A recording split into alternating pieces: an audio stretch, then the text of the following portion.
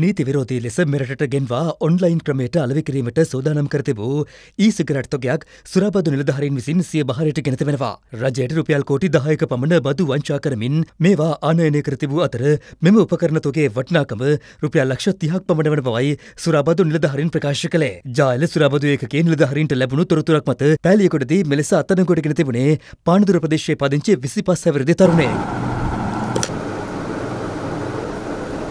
මෙම දුම් ඉරීමේ උපකරණ වැඩිපුර ලබාගෙන තිබුණේ තරුණ පිරිස් බවයි අනාවරණ කරගෙන තිබුණේ.